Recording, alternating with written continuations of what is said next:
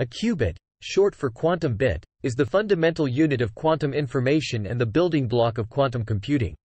It is analogous to the classical bit in classical computing, which represents information as either a 0 or 1. However, unlike classical bits that can only be in one of these two states at a time, a qubit can exist in a superposition of both states simultaneously.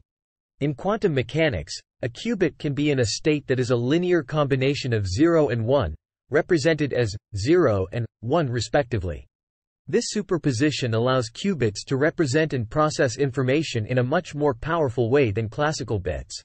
For example, a qubit can be simultaneously in the state 0 and 1, which means it can perform multiple computations simultaneously.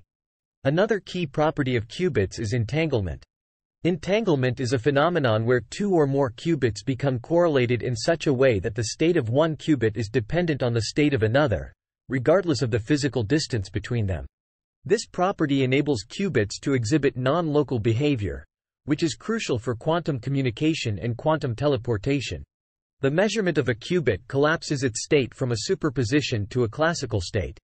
Upon measurement, a qubit will yield a definite 0 or 1 result, based on the probabilities determined by the coefficients of its superposition. Qubits are implemented using various physical systems, such as atoms, ions, photons, or superconducting circuits. These systems are carefully controlled to maintain the delicate quantum properties necessary for quantum computation. Quantum computing leverages the unique properties of qubits to solve certain computational problems more efficiently than classical computers.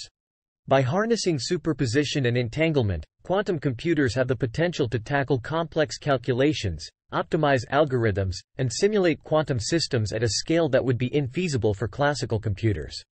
While quantum computing is an active area of research, building and maintaining qubits with sufficient stability and low error rates remains a significant challenge.